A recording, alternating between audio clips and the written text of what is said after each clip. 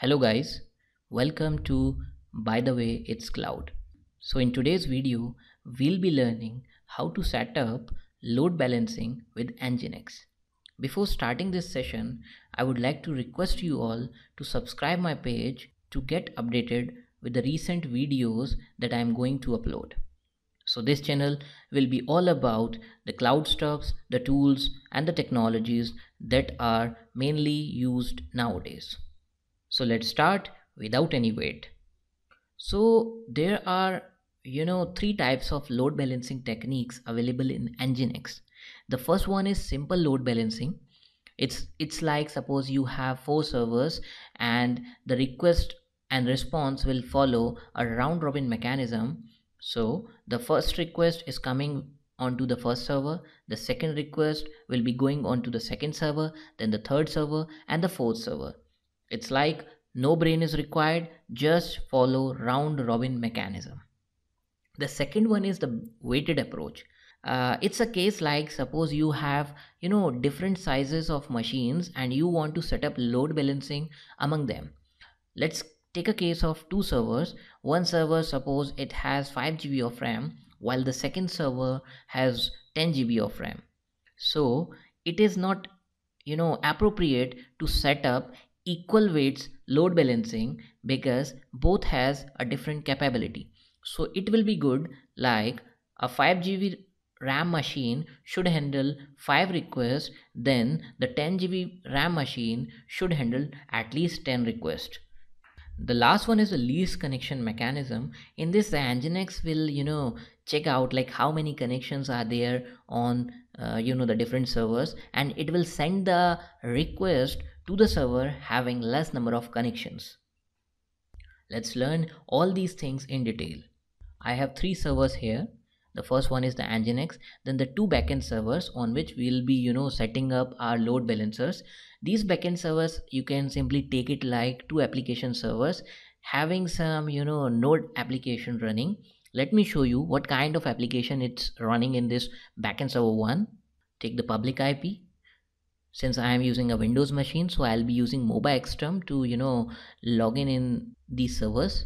While you can use you know uh, a terminal with the Ubuntu or the Linux machine that you have and you can directly SSH onto the machine. So we are in the backend server 1 console. I'll show you I have created one application so let me show you this index.js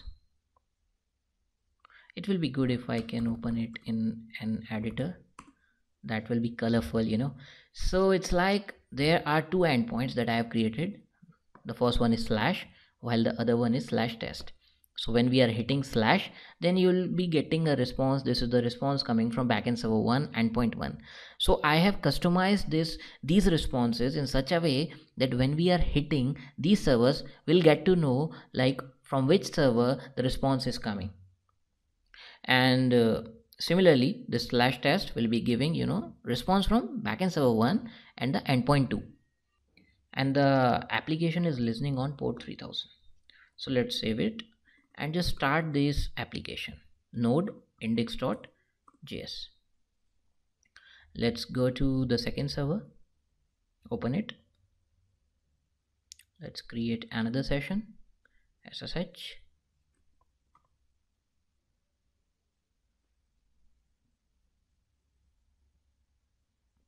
well there are other tools available like putty which you can use to do ssh you can also use that. So we are in the backend server 2 console. Here also i have created the same application but the two different endpoints. Let's have a look. So so there are two more endpoints. The first one is starting with slash. So it will give response as it's coming from backend server 2 and endpoint 1 and the slash testing another api that will give response as backend server 2 and endpoint 2 and the port if you can see it's the 3000 same one. Let's start this as well. Okay let's check whether these apis are properly working or not. Let's take the public ip of backend server 1 let's hit it in the browser with the port as 3000 and let's hit it slash it's fine. Let's hit the endpoint 2 of the backend server 1 it's slash test. So we are getting the response backend server 1 endpoint 2 and this was backend server 1 endpoint 1 let's take the ip for this backend server 2 let's check for these two also. The slash is giving. Sorry it's 3000 so it's giving backend server 2 and endpoint 1 now we'll give for slash testing the second api for the backend server 2 it's slash testing. So we are getting all the appropriate responses that we want. Now we'll head over to you know our nginx console the nginx terminal where we'll be you know setting up a configuration file to check out the different types of load balancing available in nginx. We'll take the public ip of nginx open a session in MobaXterm so we'll upload the key.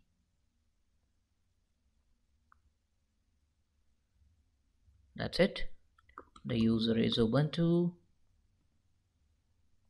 if you remember like the nginx can be found in slash etc directory.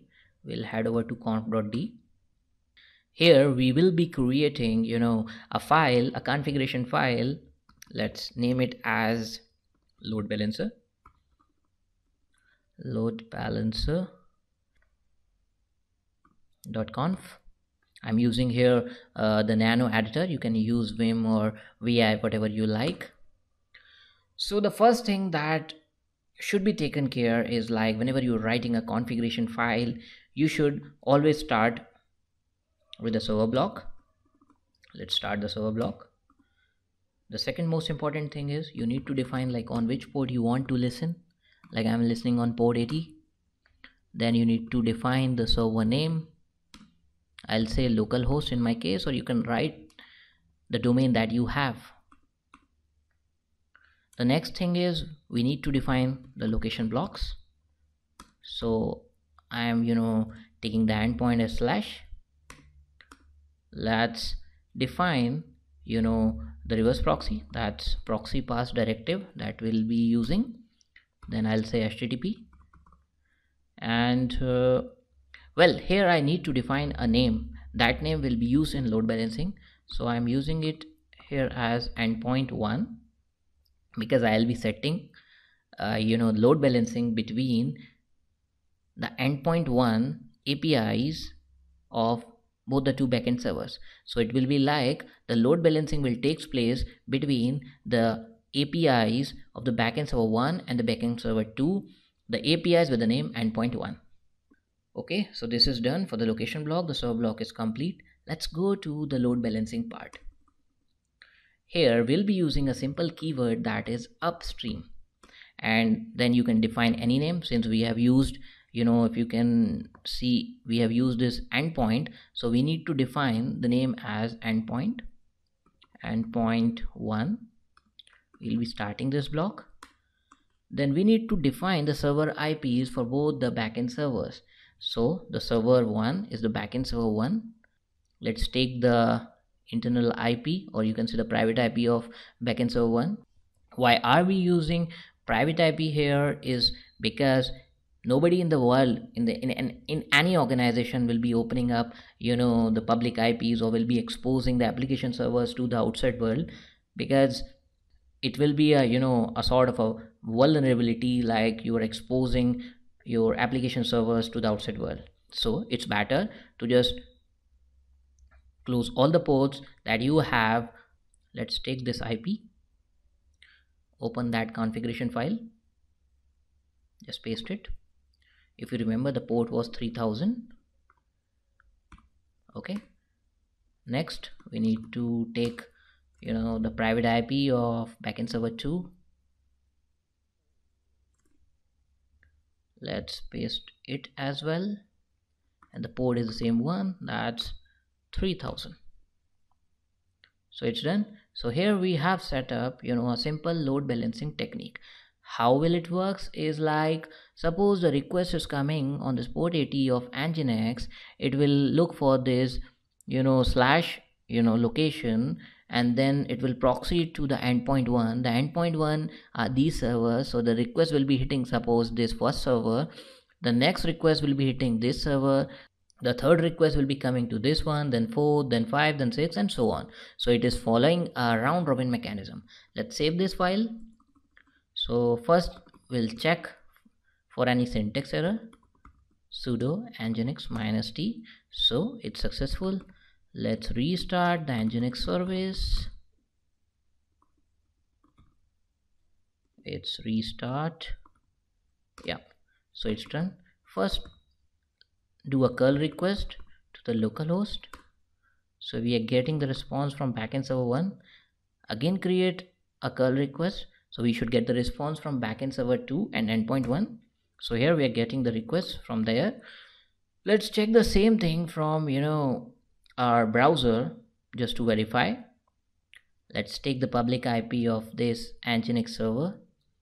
I'm opening one incognito mode window let's hit this so we are getting the response from backend server 1 and 1 if I have properly configured simple load balancer, then on refreshing, it should give the response from, you know, the endpoint 1 of backend server 2. Yeah, I'm getting the response from backend server 2 endpoint 1. Again, refresh it. Okay, again refresh it. So we are seeing here, we are completely following the round robin mechanism. Let's close this window. Now we'll discuss the second approach. The second approach, if you remember, that was weighted approach. Let's go to the configuration file sudo nano load balancer.conf. So the weighted approach is just like we'll be you know assigning weights to these servers. So here I'll say like I'll suppose like the first server is having 5 GB of RAM while the second server is having around 10 GB of RAM. So it's like second server is around two times powerful than the first one. So I'll assign a weight here equals to 2 I'm assigning a weight equals to 2 here and this server will you know by default has a weight of 1 so it's not required to mention weight as 1 here. So how this load balancing will you know occur is like the first request suppose if it's coming on the first server then the second request will be coming on to this second server. The third request will again come to this server and the fourth request will then come to the first server. So it will be like the more weight server will be responding to more number of requests and the less weight server will be responding to less number of requests let's save this file. We'll again check for any syntax error well it's fine. Let's restart the nginx service. Sudo service nginx restart. It's done. Let's take public ip of nginx again and validate whether we have properly configured this weighted approach or not. So you are seeing we are getting the response from backend server 2 we again refresh. We are getting the response from backend server 1 let's start from here. This is the first request that is coming to backend server 1 if we have properly configured our system then the second request should be going to the backend server 2 and the endpoint 1 okay that's fine. Now since we have defined a weight of 2 to the second server then the third request should be going on the same server and this response should remain the same yeah on refreshing it remains the same. Since we have defined the weight 2 so the fourth request will be going on to the first server. Yeah so it's showing you know the backend server 1 endpoint 1 we can again check it. The second request third request and the fourth request. So it successfully validates our weighted approach method of load balancing in nginx. Let's check for the third one like what's the least connection approach let's open the configuration file again sudo nano load balancer.conf so to set up this approach just two keywords are required. That is least_conn if you have you know defined these uh, two keywords then nginx will uh, you know read like it will be sending request to the server having less number of connections at our current time this is how these load balancing techniques work well, we have finished all three types of load balancing techniques available in Nginx. I hope you all have liked this video and will definitely subscribe my channel on YouTube. Thank you.